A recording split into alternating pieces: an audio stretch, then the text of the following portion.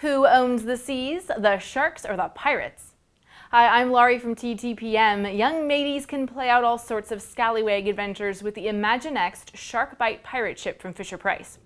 This pirate ship playset looks like a giant shark and it's got three power pads that activate a variety of different features.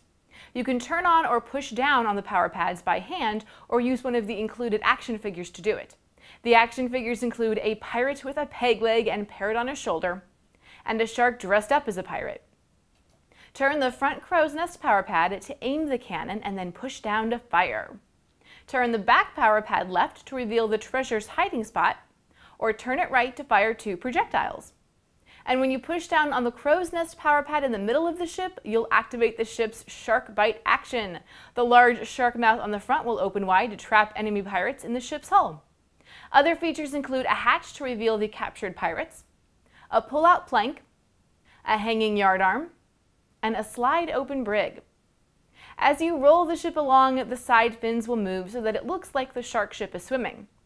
This playset is going to be especially fun for any little kid ages 3 to 8 who loves pirates. It's got cool shark details too and lots of action features that will inspire kids to tell all sorts of action-packed stories on the high seas.